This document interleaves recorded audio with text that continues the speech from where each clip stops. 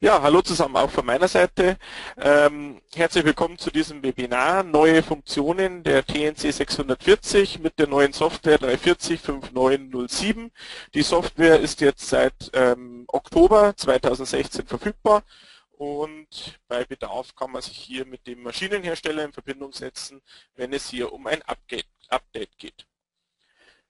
Kurz zu meiner Person. Mein Name ist Michael Windel. Ich bin Kursleiter bei der Firma Heidenhain und hier mache ich alle Schulungen, die mit der Frässteuerung zu tun haben, angefangen vom Basiskurs, Aufbaukurs über Schwenkkurs, Fünfachsprogrammierung, alles was anfällt und eben auch die ganzen Webinare hier.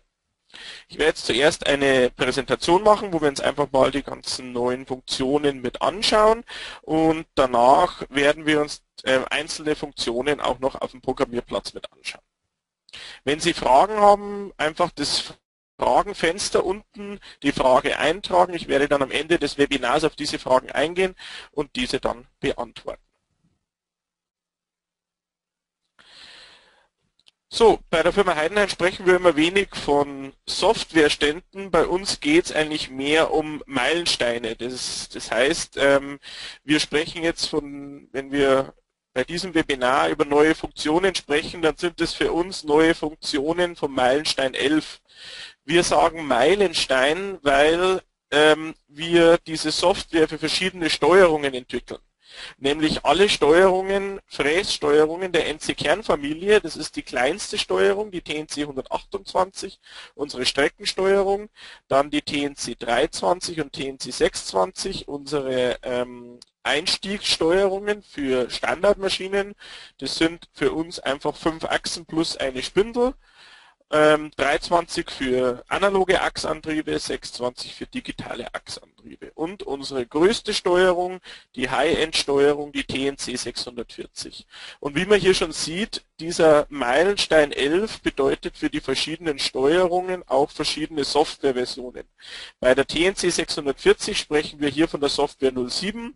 620 und 320.04 und 128 ist es 05. Und deswegen sprechen wir bei Heidenhain immer von Meilensteinen und kommunizieren das aber den Kunden immer mit der passenden Software, was er für seine Steuerung benötigt, um mit diesen neuen Funktionen arbeiten zu können. So, ja, wenn wir uns mal so ein bisschen anschauen, was sich jetzt mit den letzten Softwareständen so getan hat. In 2015 gab es zwei Softwarestände. Das ist einmal der ähm, Meilenstein 9 und Meilenstein 10, also für die 640 ist es die Software 5 und 6.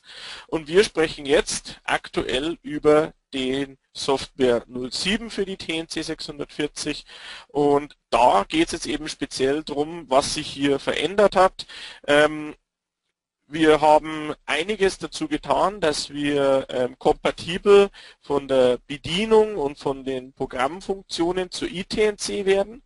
Ähm, da hat sich einiges getan und außerdem noch eine neue Funktion mit dabei, 3D Toolcomp. Das heißt, dass ich eben mein Werkzeug ähm, passend den verschiedenen Abweichungen von meinem Eckenradius zum Beispiel korrigieren kann. Natürlich kommen noch viele weitere Funktionen dazu und die schauen wir uns jetzt einfach mal gemeinsam an. So, im Programm Test, hier wurden einige neue Funktionen eingebaut. Ähm, als erstes gibt es die Möglichkeit, dass ich jetzt die, bei einem gewissen Satz die Simulation unterbrechen kann. Wenn mir zum Beispiel, ich möchte mein Bauteil ähm, ab Satz 6398 im Einzelsatz durchlaufen lassen, weil da eine kritische Bearbeitung ist.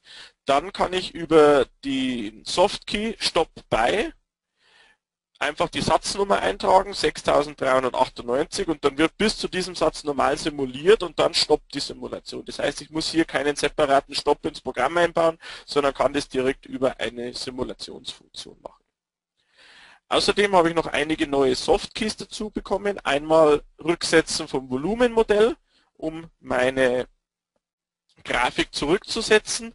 Dann kann ich die Werkzeugwege zurücksetzen. Wenn mir nur von einer gewissen Bearbeitung die Wege ähm, wenn ich mir diese Wege anschauen möchte, dann kann ich über Werkzeugwege rücksetzen, die davor gemachten Wege zurücksetzen und ich kann mir nun auch die Eilgangbewegungen anzeigen bzw. ausblenden. Das ist oft mal praktisch, weil man sonst sehr viele Linien in meiner Grafik hat, wenn man sich die Werkzeugwege mit anzeigen lässt, dass man hier auch mal die Fmax-Wege ausblenden kann. Und was jetzt auch neu dazugekommen ist ähm, mit der Software 07, ist das Messen. Das heißt, ich kann jetzt auch mit einer Mouse-Over-Funktion messen. Hierzu schalte ich über den Softkey Messen ein, die Messfunktion ein. Ich habe dann, wie man es hier in diesem Bild sieht, oben so, ein Violett, so eine violette äh, Zeile und die zeigt mir die x, y, z-Koordinaten des aktuellen Punkts, den wir hier unten sehen, des weißen Punktes an. Und so kann ich eben mein ganzes Bauteil einfach mal vermessen, kann schauen, wie sind denn die Tiefen, habe ich hier alles richtig programmiert. So kann ich eben mein Programm einfach simulieren und habe noch mehrere Möglichkeiten, wie ich diese Simulation auch überprüfen kann.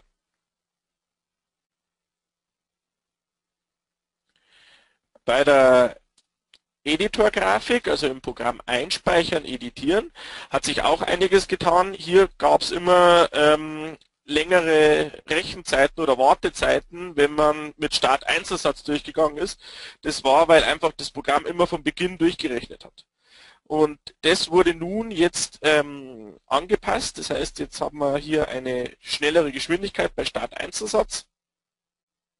Außerdem kann ich mir auch hier meine Werkzeugbahnen anzeigen und ausblenden lassen. Das heißt, wenn ich mit der Editor-Grafik, mit Programm und Grafik arbeite, kann ich mir auch hier bestimmte Linienarten wie Eilgänge zum Beispiel ausblenden lassen oder auch Werkzeugwege ausblenden lassen.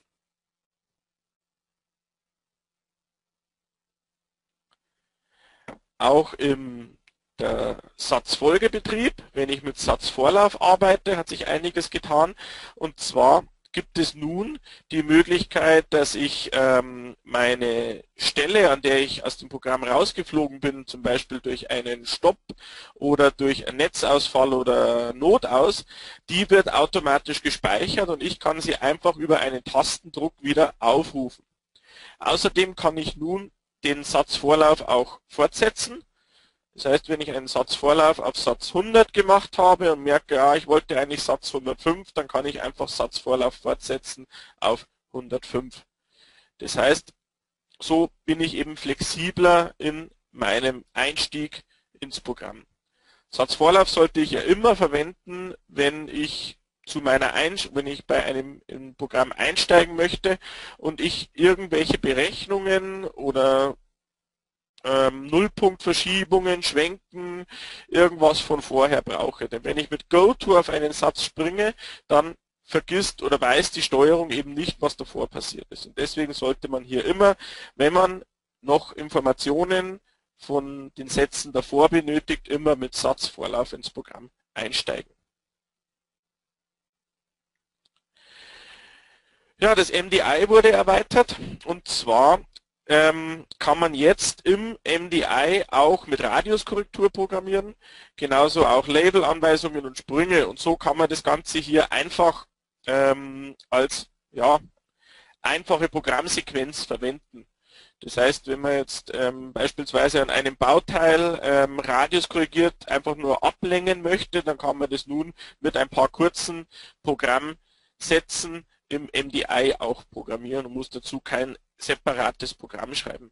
Außerdem gibt es jetzt die ähm, weiteren Funktionen, wie zum Beispiel Function TCPM kann ich nun im MDI programmieren und die Function File Copy, ähm, Move oder Delete Funktion kann ich programmieren. Außerdem gibt es jetzt die Block markieren, kopieren, einfügen Möglichkeit. Das heißt, wenn ich einen ähm, Programmteil in einer anderen Form nochmal benötige, kann ich einfach hergehen, Block markieren, kopieren und einfügen oder ich kann mir auch einen Programmteil aus dem MDI in mein Programm einspeichern, editieren ähm, rüberholen. Und so kann ich das hier einfach für kleine Programme, wenn ich nicht ein separates Programm schreiben möchte, kann ich hier das MDI einfach verwenden, um kleine Programmsequenzen zu schreiben.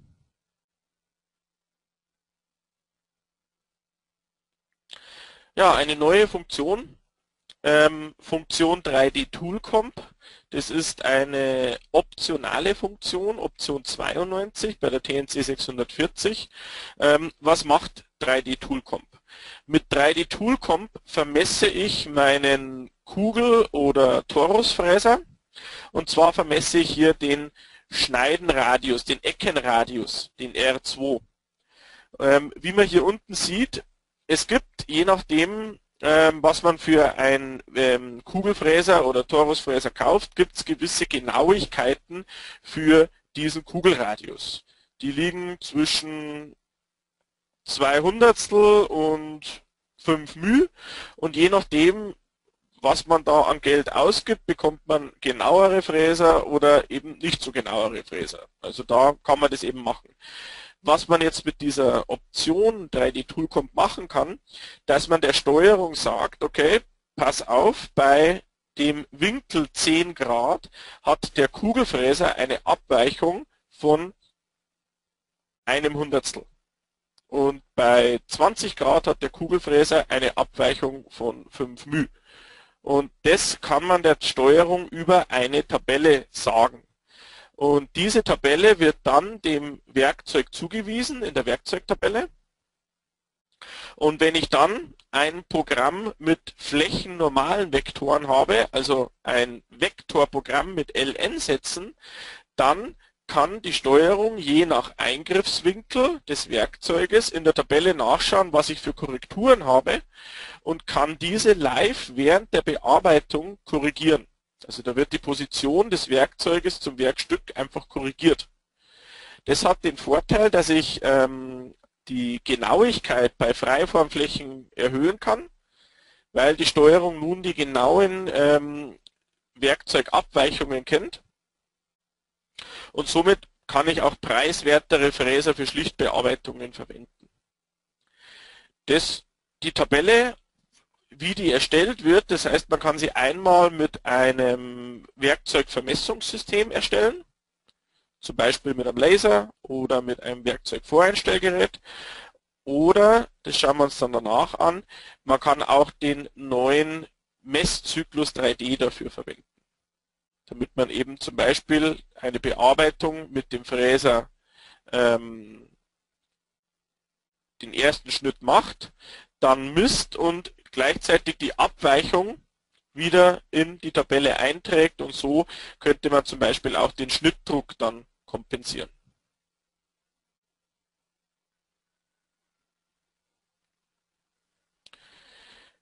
Genau, zum 3D Tool kommt gibt es nun auch eine neue Variante und zwar, wenn ich mit meinem Tastsystem Freiformflächen vermessen möchte, dann reichen die ähm, fünf kalibrierten Punkte am Tastsystem. Das heißt, es ist einmal in der XY-Ebene meine vier Quadranten bei 0 Grad, 90 Grad, 180 Grad und 270 Grad. Dann reichen diese Quadranten nicht aus und der Südpol unten, sondern dann muss ich meine Kugel komplett kalibrieren. Das heißt, ich muss auch wissen, wie sieht der Schaltpunkt aus bei ähm, 5 Grad Anstellung, bei 10 Grad Anstellung und dieses 3D kalibrieren kann ich nun auch mit einem Messzyklus machen und zwar mit dem Zyklus 460 und da verwende ich so eine Kalibrierkugel von Heidenhain, die wir schon vom Kinematics Opt her kennen. Und mit diesem Zyklus 460 kann ich dann ähm, Messpunkte machen und die werden dann in der ZX-Ebene ausgeführt, zum Beispiel 15 Messpunkte. Dann werden entlang der Kugel 15 mal gemessen, also in der Ebene Z und X, bei verschiedenen Anstellungen und die Abweichung wird wiederum in eine Korrekturtabelle abgelegt und dann weiß die Steuerung, aha, wenn ich mit dem Tastsystem bei 10 Grad Anstellung taste, dann habe ich die und die Abweichung. Und diese Korrekturtabelle brauche ich dann wiederum, um mit dem neuen Zyklus 444 zum Vermessen von Freiformflächen ähm, ein Feedback zu bekommen, ob noch Material auf meinem auf meiner Fläche drauf ist oder nicht. Und diesen Zyklus kann ich dann wiederum verwenden, um eine Tabelle für mein 3D Toolcomp zu befüllen. Aber das schauen wir uns jetzt dann noch am Programmierplatz mit an.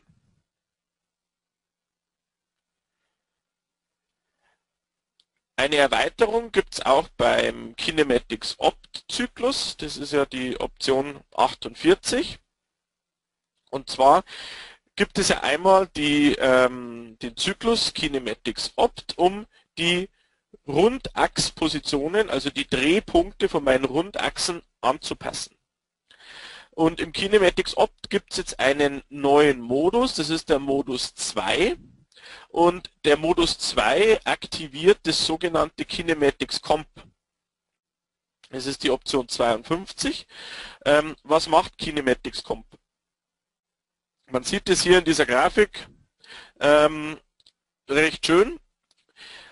Normalerweise, wenn ich jetzt eine Kinematik habe, zum Beispiel einen AC-Tisch, wenn ich nun feststelle, dass die A-Achse, wenn ich mit der Uhr in Y-Richtung über die A-Achse fahre, feststelle, aha, die A-Achse ist nicht gerade im Raum, dann kann ich das über den Referenzpunkt anpassen der A-Achse. Das heißt einfach auf Null drehen, so lange bis die Uhr auch Null anzeigt. Wenn ich jetzt allerdings mit meiner Messuhr über den Tisch drüber fahre in X-Richtung und merke, dass die A-Achse von links nach rechts hängt, ja, das kann ich nicht so einfach kompensieren, weil das ist ja die Anbaulage oder Anbaugenauigkeit von der A-Achse. Und genau für das gibt es dieses Kinematics Comp. Das heißt, wenn die A-Achse von links nach rechts schief oder hängt, dann kann ich die Kinematics Comp verwenden, um das der Steuerung mitzuteilen. Und zwar gibt es dafür ein Konfigurationsdatum und zwar bei den Config Simple Access gibt es jetzt den Keen Comp Error. Das ist quasi der Fehler von Kinematics Comp und das kann ich der Steuerung mitteilen. Pass auf, die A-Achse hängt in B um ähm, 0,02 Grad. Und wenn ich dann mit Schwenken oder ähm, TCPM M128 arbeite, dann kann das die Steuerung mit den anderen Achsen kompensieren, damit dieser Fehler am Werkstück nicht auftaucht. Also das ist einfach, um meine Maschine noch einen Ticken genauerer zu machen. Heißt nicht, dass man auf der anderen Seite die, ähm, den Maschinenbau vernachlässigen kann und die Achsen nicht so genau einrichtet. Das sollte natürlich immer noch so genau wie von den Toleranzen her möglich ist, sein. Das heißt, damit man das möglichst wenig kompensieren muss elektronisch. Außerdem gibt es Umstellungen und Erweiterungen beim Protokoll. Dieses Protokoll ist jetzt ein HTML-Protokoll. Es wird nun ähm, nicht mehr für einen Zyklus komplett ähm, abgespeichert, sondern es gibt immer ordnerspezifische Abspeicherung und außerdem werden die Drehachspositionen auch mit ausgegeben. Das heißt, ich habe jetzt noch mehr Informationen in meinem Protokoll. Genau. Das ist eben das Schöne jetzt auch bei der ähm, TNC 640. Bei der ITNC musste ich Kinematics Comp noch in der Kinematik-Beschreibung berücksichtigen. Das sieht man hier schön, die Achse B hier in der Zeile 4. Und davor diese Transformation A und C, das ist eben dieses Kinematics Comp. Und das musste ich vor der Achse machen, A und C, und nach der Achse mit C und A wieder zurückrechnen. Und das war halt leider immer sehr umständlich und ich musste da die Kinematikbeschreibung anpassen. Und das geht jetzt bei der TNC 640 schöner, weil ich jetzt das Ganze einfach über die Maschinenparameter machen kann.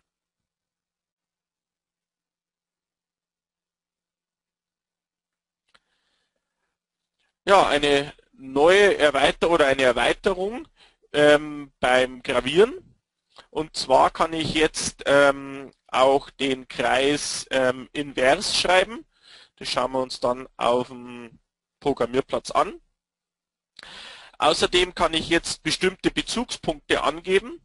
Das ist vor allem wichtig, ähm, wenn ich sehr große Radien ähm, und wenn ich einen Text auf einem sehr großen Radius gravieren möchte. Und zwar war es ja bis jetzt immer so, ich musste, wenn ich auf einen Kreis programmiere oder graviere, musste ich immer den Mittelpunkt des Kreises anfangen. Das wurde jetzt geändert. Jetzt kann ich direkt Bezugspunkte an meinem Text angeben. Und wenn ich jetzt einen sehr großen Radius gravieren möchte, dann kann ich jetzt ähm, einfach hergehen und mich am Text direkt vorpositionieren und muss nicht mehr auf den Kreismittelpunkt fahren. Dieser ist dann oft außerhalb vom Verfahrbereich gelegen und deswegen konnte man da nicht hinfahren. Außerdem kann ich jetzt die Textlänge eingeben. Das heißt, ich kann sagen, der Text soll so und so lang sein und dann skaliert die Steuerung automatisch die Zeichenhöhe und so kann ich eben auch in einen gewissen Abstand nun den Text mit eingeben. Dabei muss ich allerdings immer beachten, wenn ich eine Textlänge eingebe, dann muss die Zeichenhöhe auf Null sein. Denn dann macht es die Steuerung automatisch. Da bekomme ich aber auch eine Fehlermeldung, wenn ich das Ganze, ähm, wenn ich Textlänge eingegeben habe und Zeichenhöhe definiert habe, dann bekomme ich eine Fehlermeldung, dass ich doch bei eingegebener Textlänge die Zeichenhöhe auf Null setzen muss. Ja, einige Erweiterungen beim Fräsdrehen. Hier wurde speziell beim Stechen einige neue ähm, technologische Parameter eingeführt. Einmal der für die Überlappung beim Stechen, dass nicht immer die komplette Stechplatte verwendet werden soll beim Einstechen. Dann der Vorschubfaktor für ähm, den Modus Rückzug, wie er eben nach einem Stech ähm, Parameter oder nach einem Stechvorgang zurückziehen soll, das eben nicht am stehenden Material zurückziehen soll. Und es gibt jetzt auch einen Delta in der Werkzeugtabelle für die Breite der Stechplatte. Ja, dann ähm, Gewinde drehen kann ich nun auch mit angestellter Achse, dann die Vorschubreduktion, wenn die Zyklen die maximale Schnittgeschwindigkeit oder wenn die Schnittgeschwindigkeit nicht mehr erreicht werden kann. Man hat ja beim Fräsdrehen, wenn man plan dreht zum Beispiel, das Problem, ähm, irgendwann ist die maximale Tischdrehzahl erreicht und ab dem Zeitpunkt drückt das Werkzeug nur noch. Und damit man hier die Oberflächenqualität noch im Griff bekommt, da kann ich dann, ähm, wird automatisch der Vorschub reduziert auf 50 Prozent zum Beispiel und so kann man ähm, noch eine bessere Oberflächenqualität erreichen. Ja, für den Maschinenhersteller, der kann nun eine, ähm, ein Makro ähm, einfügen und zwar was vor dem Zyklus 800 und nach dem Zyklus 800 gemacht werden soll. Den Zyklus 800 brauchen wir zum Anpassen des Drehsystems. Wenn zum Beispiel der Maschinenhersteller möchte, dass vor dem Zyklus 800 auf eine sichere Position gefahren werden soll, dann kann man das mit diesem Makro hier einfügen. Außerdem wurde nun Exzenter drehen noch einige Anpassungen gemacht und zwar wurde hier zum Beispiel die Drehzahlbegrenzung wird nun angezeigt und ich kann sie auch bei Bedarf, wenn ich sage, das ist mir zu wenig, kann ich sie noch editieren ähm, und so zum Beispiel meine ähm, Bearbeitung hier noch anzupassen.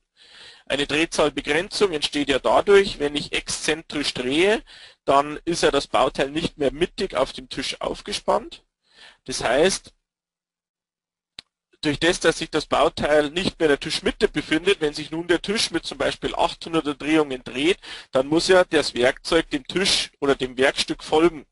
Und das geht natürlich bei 800 Umdrehungen nicht mehr, sondern dann wird einfach die Drehzahl begrenzt, damit eben je nach Exzentrizität die, ähm, das Werkzeug der ähm, dem Werkstück auch noch folgen kann. Und dadurch kommt die Drehzahlbegrenzung. Das heißt natürlich, umso größer die Exzentrizität, umso größer auch die Drehzahlbegrenzung und umso langsamer wird die ganze Bearbeitung. Und deswegen kann man sagen, okay, ich probiere jetzt einfach mal aus beim Exzenter drehen, ob vielleicht statt denen 214 auch noch 300 Umdrehungen zum Beispiel möglich sind.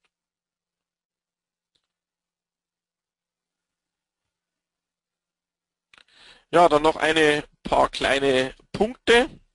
Und zwar kann ich jetzt beim Wirbelfräsen auch die Tiefe schlichten. Das war vorher noch nicht möglich. Da konnte man nur die Seite schlichten. Nun habe ich auch einen Parameter für Schlichten Tiefe. Außerdem gibt es die Vorschubinterpretation über den Q439, jetzt auch bei den ähm, Zyklen 251 und 275. Das schauen wir uns dann ähm, auf dem Programmierplatz an.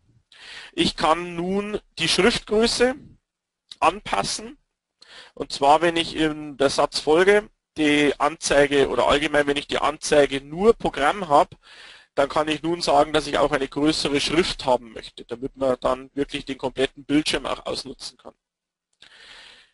Bei der zylindrischen Blockform kann ich nun auch die ähm, Innen- und Außenradien als Durchmesser auch definieren. So spare ich mir das Umrechnen. Außerdem kann ich nun direkt im NC-Programm über eine SysRead-Abfrage meine Zeit auslesen. Das heißt, am Ende vom Programm kann ich einfach über eine FN18 Systemdaten lesen, ID 320 Nummer 3, kann ich die aktuelle Bearbeitungszeit auslesen. Und so kann ich, brauche ich eben nicht am Anfang vom Programm einen, ähm, die Zeit auslesen und am Ende vom Programm die Systemzeit auslesen und diese dann umrechnen, sondern ich kann sie direkt über die, ähm, die komplette Bearbeitungszeit am Ende des Programms auslesen. Und außerdem kann ich nun überprüfen, ob eine Werkzeugeinsatzdatei oder ob eine Werkzeugeinsatzprüfung, ob alle Werkzeuge vom Programm verfügbar sind. Das ist vor allem wichtig, wenn ich ähm, automatisiert ähm, mit Palettenwechsel arbeite. Und zwar habe ich zum Beispiel in meinem Speicher 15 Paletten und ich möchte diese Paletten gerne nacheinander mannlos abarbeiten. Jetzt wäre das Schlechteste, wenn ich die Palette einwechsle und die Steuerung ähm, ein Werkzeug einwechseln will, das nicht vorhanden ist denn dann steht mein ganzes System. Und so kann ich über, dieses, über diese Abfrage Systemdaten lesen, ähm, ID 975 Nummer 1 kann ich abfragen, ob ähm, die Werkzeuge alle okay sind, alle Werkzeuge vorhanden. Wenn 1, dann Fehler in der Prüfung, das heißt ein Werkzeug fehlt oder ist gesperrt. Oder minus 2, Werkzeugeinsatzprüfung ist nicht eingeschaltet oder minus 1, es ist keine Werkzeugeinsatzliste vorhanden. Das heißt, mit dieser Werkzeugeinsatzliste kann ich ganz einfach feststellen, ob ich dieses Programm mit den im Magazin befindlichen Werkzeugen abarbeiten kann. Und so kann man eben am Anfang vom Programm einfach eine Abfrage machen, Werkzeugeinsatzprüfung. Wenn der Ergebnisparameter 1 ist, also zum Beispiel Q50 und das Ergebnis ist 1, dann kann ich die nächste Palette einwechseln und schauen, ob da alle Werkzeuge verfügbar sind.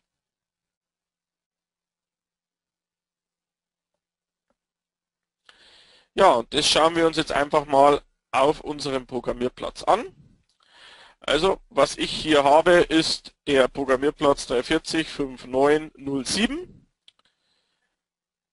und den schauen wir uns jetzt einfach mal an, was es denn hier so alles zu sehen gibt. Als erstes mal die ähm, Anpassungen im Programm Test. Das heißt, dazu öffne ich mal das Programm Flange und kann jetzt über Reset und Start einfach mal die Simulation starten. Sehe jetzt hier die normale Simulation auf unseren NC-Kernsteuerungen, farbige Einstellungen, jedes Werkzeug bekommt seine eigene Farbe. Genau. Und jetzt ist das Programm durchgelaufen. Und nun können wir uns mal die verschiedenen neuen Funktionen anschauen. Zum Beispiel die Funktion Messen. Auf der zweiten Softkey-Ebene gibt es den Softkey Messen ein. Jetzt bekomme ich hier oben dieses Violett, diese violette Zeile und nun kann ich einfach über Mouse Over schauen, okay, wie tief ist denn dieses Langloch hier? Aha, minus 20 wie tief ist denn diese Kreistasche hier, die ist minus 10 tief und hier bin ich bei minus 5 mm. Also einfach mit meinen Mouse-Over-Funktionen kann ich hier ganz einfach messen. Außerdem kann ich mir hier mal meine ganzen Bearbeitungswege anschauen und was man jetzt hier sieht, das Weiße ist Bearbeitungsvorschub, das Rote ist Eilgangbewegung und auch hier kann ich optimieren, indem ich sage, ich möchte die Fmax-Wege nicht sehen. Dann kann ich die schon mal ausblenden lassen. Wenn ich jetzt zum Beispiel mal nur die Bearbeitung von meiner runden Nut sehen möchte, Dann mache ich jetzt einen Stopp bei 29. Also Stopp bei 29. Dann kann ich jetzt hier sagen Start. So, und jetzt macht er alles bis Satz 29. Und da stoppt er dann. Genau. Und jetzt kann ich zum Beispiel hergehen und die Werkzeugwege zurücksetzen. Dann werden alle bisher gemachten Werkzeugwege zurückgesetzt. Und nun kann ich über Start Einzelsatz hergehen und mir nur mal die eine Runde Nut hier anschauen. Und dann zeigt er mir auch nur die äh, Werkzeugwege von dieser runden Nut an. So kann ich eben einzelne Programmsektionen sehr einfach mir anschauen. Wenn ich sage, ich hätte gerne das ähm, Werkzeugmodell, äh, das Volumenmodell zurückgesetzt, dann kann ich das einfach machen und kann jetzt wieder weitergehen über Start Einzelsatz und dann macht er jetzt die nächste Loot und zeigt mir das halt hier komplett in meinem neuen Rohteil an. Genau, kann mir das Ganze auch hier transparent oder ähm, farbig und hier transparent schalten. Genau, dann sehe ich jetzt hier eben die, das ist natürlich noch der Werkzeugweg von vorher, weil den habe ich ja nicht gelöscht. Also sieht man die hier auch immer schön die ganzen Werkzeugwege mit dabei.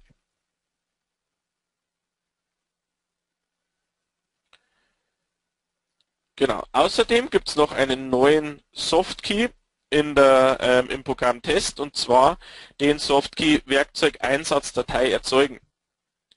Ähm, bis jetzt war es ja immer so, dass ich diese Werkzeug Einsatzdatei, dazu musste ich das Programm einmal in den Programmtest reinladen und musste es einmal komplett durchsimulieren. Das kann jetzt bei längeren Programmen schon eine Zeit dauern.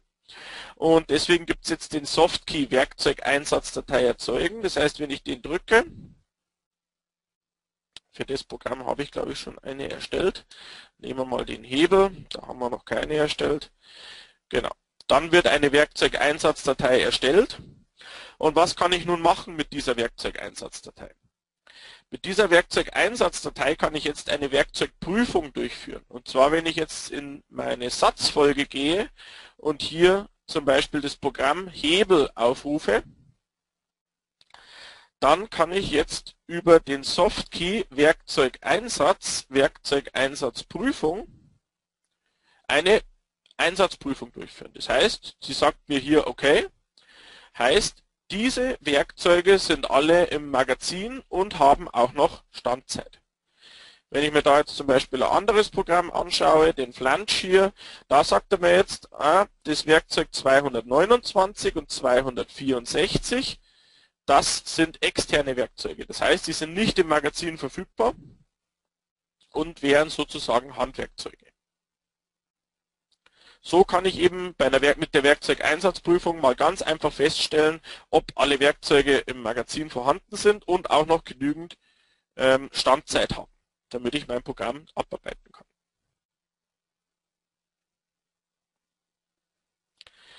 Außerdem verfügbar jetzt mit der Software 7 der ähm, Softkey-Programm und Gliederung in der Satzfolge ist eben praktisch, wenn man mal an einer gewissen Position einsteigen will, wenn man zum Beispiel hier beim Satz 25 einsteigen möchte, geht man einfach über den Gliederungspunkt hin und kann jetzt über Satzvorlauf sagen, ich möchte hier einsteigen, NC Start, dann rechnet es die Steuerung durch, stellt den Maschinenstatus her,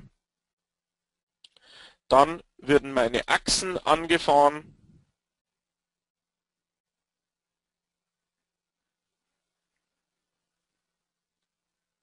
Genau.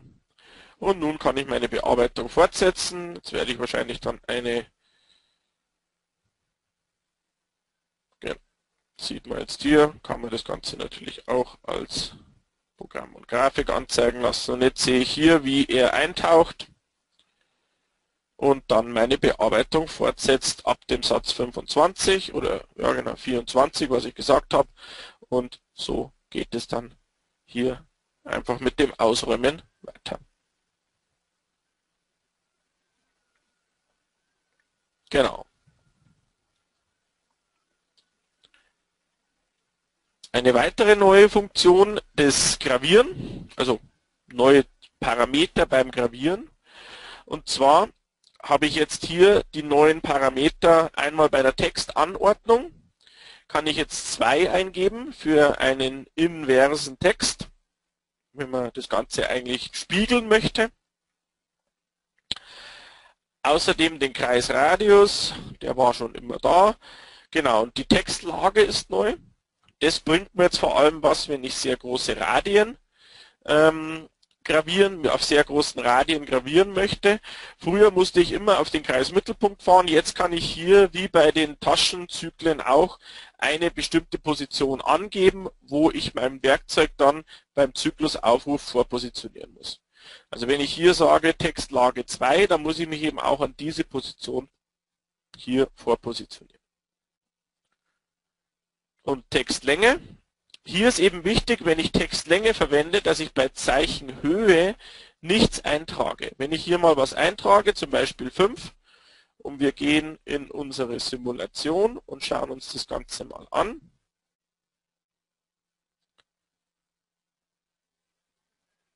Okay, 5 war jetzt wahrscheinlich noch passend zum, dass es noch reingepasst hat in die Länge.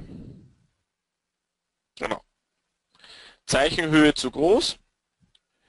Dann bekomme ich hierzu eine Fehlermeldung. Die programmierte Gravur ergibt mit der definierten Zeichenhöhe einen längeren Text, wie in der Textlänge definiert ist.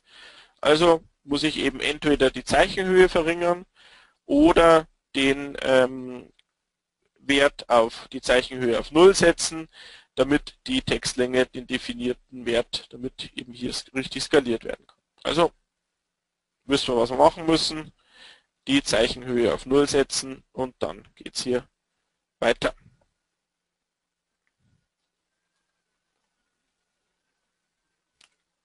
Also eine schöne Erweiterung, um eben jetzt auch, ich kann jetzt auch den Text mittig angeben oder linksbündig oder rechtsbündig, wie ich möchte, kann ich das hier einfach machen. Und eben auch jetzt sehr große Radien. Ähm, gravieren. Also ich habe hier extra noch eine Linie mit eingezogen, damit man hier auch schön sieht, dass das Ganze auf einem Radius 650 graviert ist und so kann man das hier ganz einfach im Zyklus mit anwenden.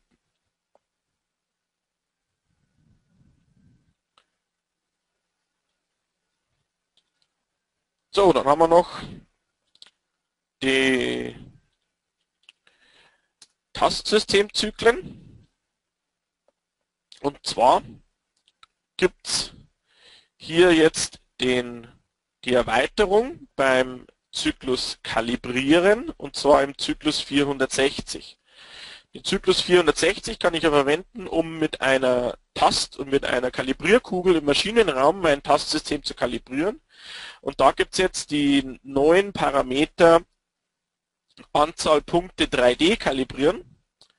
Das heißt, wenn ich hier 15 Punkte eintrage, dann nimmt die Steuerung diese Punkte und wie man hier sieht, werden die von 0 bis 90 Grad einfach auf die Kugel verteilt. Und zwar in der ZX-Ebene. Und dann wird einfach interpolierend immer an die Kugel rangefahren und die Korrekturwerte werden gespeichert. Die Werte werden in einer Kalibriertabelle gespeichert und zwar unter TNC System 3D Toolcomp und hier in der Correction.3DTC. Diese Endung ist für die Steuerung wichtig, damit sie weiß, dass ich eine 3D Toolcomp Tabelle haben möchte. Die sieht so aus. Einmal ein Engel, zum Beispiel 10 Grad und bei diesem Anstellwinkel habe ich eine Abweichung von 2 Hundertstel. Bei 15 Grad habe ich eine Abweichung von 15 μ. Und bei 20 Grad habe ich eine Abweichung von 8 μ. Und die Steuerung nimmt dann diese Korrekturtabelle her um jetzt zum Beispiel den Taster beim späteren 3D-Vermessen richtig korrigieren zu können. Ich kann diese Tabelle auch für Werkzeuge verwenden, um beispielsweise Kugelfräser den Eckenradius anzupassen.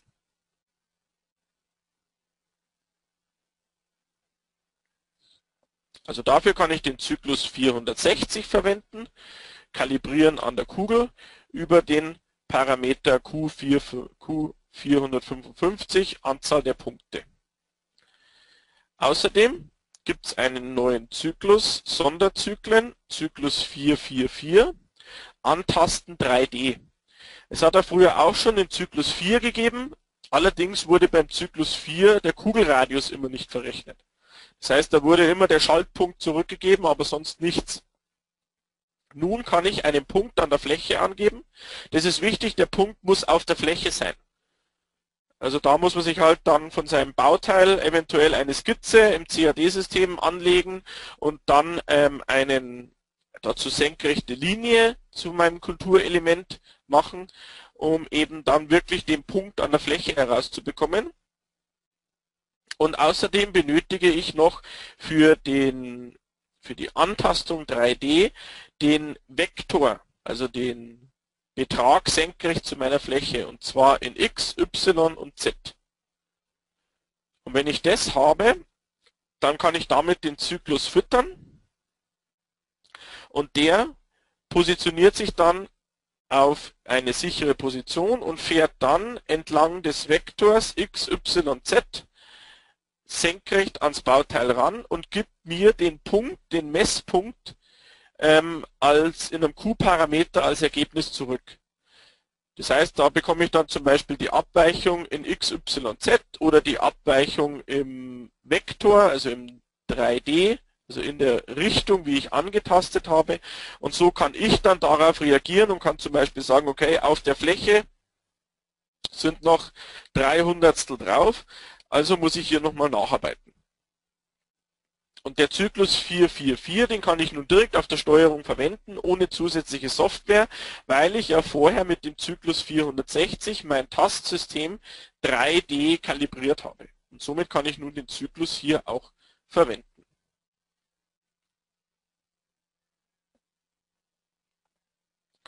Genau, noch eine kleine Erweiterung, wenn ich mit meiner rotationssymmetrischen Blockform, äh, mit der zylindrischen Blockform arbeite, habe ich nun hier unten die beiden Softkeys.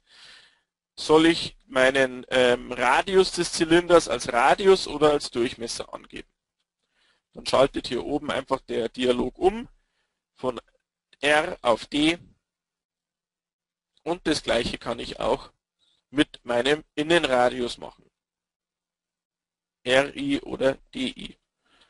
Und so kann ich hier beispielsweise meine zylindrische Blockform einfach definieren, je nachdem, ob ich Radius oder Durchmesser haben möchte.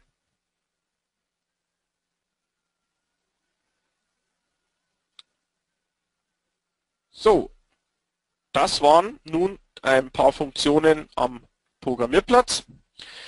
Ähm, Jetzt möchte ich Ihnen noch ein paar ähm, Sprechpunkte noch von unserem diesjährigen Auftritt auf der AMB-Messe vorstellen. Und zwar haben wir hier einige neue Hardware-Funktionen und Kampagnen vorgestellt, die ich Ihnen nun genauer erklären möchte. Und zwar als erstes eine neue Kampagne, nennt sich Connected Machining. Und zwar, was heißt Connected Machining? Ähm, das heißt einfach, wie kann ich an der Steuerung meine Prozesse, meine Fertigungsabläufe verbessern.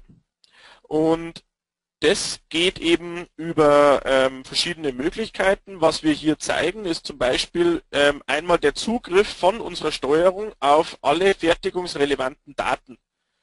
Sei es Aufspannpläne, sei es Auftrag starten, Material bestellen, kann ich alles ganz einfach über die Steuerung machen. Und zwar muss ich hier nicht viel installieren. Ich kann über die Funktion Remote Desktop Manager einfach auf einen beliebigen PC im Netzwerk zugreifen und kann diesen PC mit meiner Steuerung verbinden und über einen Knopfdruck kann ich einfach von meinem Steuerungsbildschirm zu dem Bildschirm von meinem verbundenen PC wechseln. Und auf diesem PC kann ich dann wie gewohnt in einer Windows-Umgebung oder wie das halt in der Firma ähm, der Standard ist, ähm, kann ich hier mit meinen normalen Anwendungen arbeiten, wie zum Beispiel einem ERP-System, wie einem ähm, Werkzeug, ähm, Verwaltungssystem und alles, das kann man hier ganz einfach über die Funktion Remote Desktop Manager machen. Außerdem ist immer wichtig für die, ähm, für die Vorgesetzten, wie ähm, laufen denn die Maschinen, das heißt die ähm, sogenannten OEE-Kennzahlen, das können wir ganz einfach über die Funktion DNC, über die DNC-Schnittstelle machen. Und zwar gibt es da von Heidenhain jetzt den TNC State Monitor, eine Software, um die verschiedenen ähm, Verfügbarkeiten der Steuerungen zu überprüfen und anzuzeigen. Was heißt das Connected Machining nun? Wir haben es hier an so einem Baustell, an so einer ähm, Übersicht gemacht. In der Mitte ist unsere Werkzeugmaschine und wenn ich jetzt meinen Auftrag starten möchte, dann gibt es eben verschiedene Arbeiten, für die ich an meinem PC gehen muss. Bestimmte Arbeiten, für die ich das Werkzeugvoreinstellgerät brauche und bestimmte Sachen, wo ich bei meinem Werkzeugschrank was holen muss. Und was wir eben vermeiden möchten, ist der Gang zum PC, um eben beispielsweise direkt den Spannplan, die Aufspannpläne und Programmdokumente direkt an der Steuerung über den Remote Desktop Manager anzeigen zu können, um aufs CAD-CAM zuzugreifen, um beispielsweise ähm, Zustellungen zu ändern. Wenn man merkt, ah, man könnte eigentlich noch mehr zustellen mit dem Werkzeug, kann man eben über den Remote Desktop Manager einfach das CAM-System auch starten und hier zum Beispiel die ähm, Programme nochmal neu ähm, durchrechnen lassen und dann auf die Maschine nochmal übertragen. Und diese Wege, also diesen blauen, orangen, grünen und diesen roten gestrichelten, den können wir uns eben sparen, wenn wir die Maschine mit Remote Desktop Manager mit diesem PC verbunden haben und können so einfach diese Aufgaben direkt an der Maschine ausführen sparen uns dann auch, dass wir zum Beispiel einen ähm, Aufspannplan ausdrucken müssen. Den können wir dann direkt anschauen auf unserem Steuerungsbildschirm. Genau, und hier haben wir noch ein paar Screens vom State Monitor. Man sieht unten unsere Maschinenhalle hier, der, hier im Schulungszentrum. Da haben wir verschiedene Maschinen und diese werden alle nun mit dem State Monitor überwacht.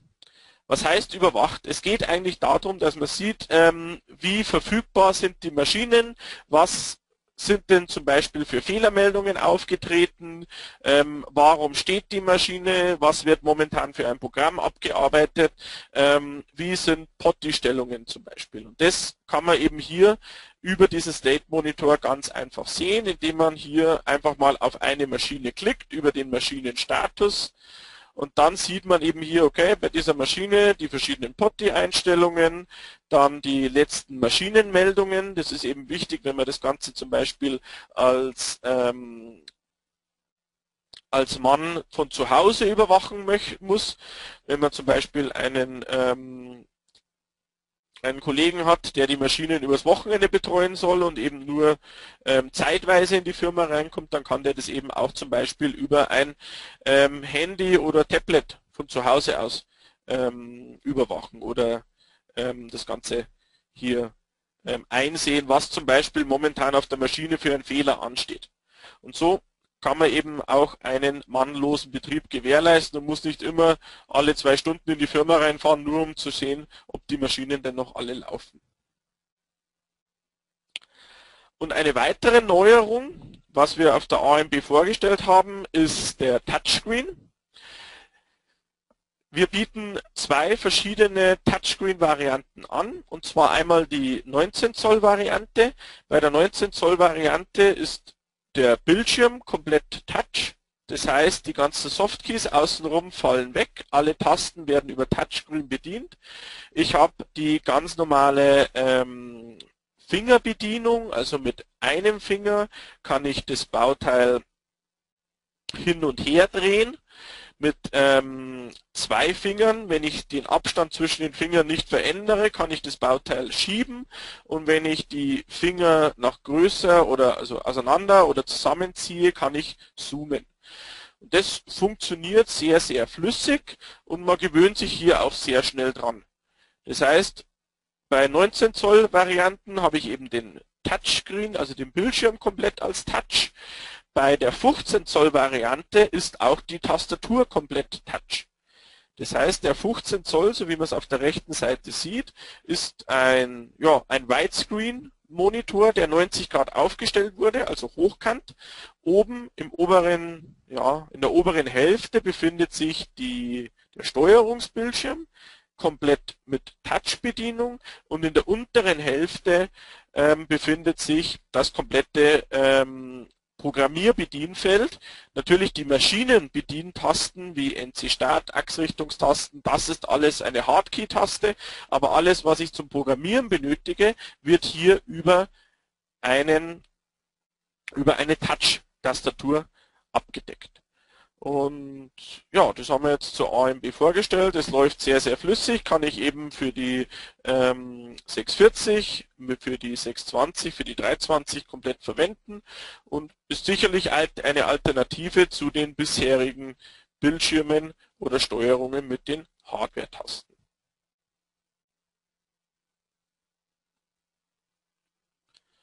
So, das war's von meiner Seite mit den ähm, neuen Funktionen von Meilenstein 11. Wie wir es auf der zweiten Folie schon am Anfang gesehen haben, gibt es die verschiedenen Software-Varianten, also für die TNC 128, 320, 620 und 640, die jeweils neue Software. Verfügbar ist sie jetzt seit Oktober 2016. Wenn Sie hier Bedarf haben, um Ihre Maschine aufzurüsten, dann gehen Sie, treten Sie bitte mit Ihrem Maschinenhersteller in Kontakt, der macht dann das Update und dann haben Sie diese ganzen neuen Funktionen auch zur Verfügung. Wenn Sie das Ganze mal live sehen möchten, dann können Sie uns auch gerne auf jeder Messe besuchen. Hier werden auch immer die neuen Funktionen mit vorgestellt und da kann man sich auch mal den Touchscreen zum Beispiel in live und in Realität mit anschauen. Okay, dann wünsche ich Ihnen nun einen schönen Tag, ähm, ein schönes Wochenende dann. Und dann hören wir uns im Dezember zum letzten Webinar dieses Jahr. Und da geht es dann wieder ins Englische mit den SL-Zyklen und vielleicht hören wir uns dann wieder.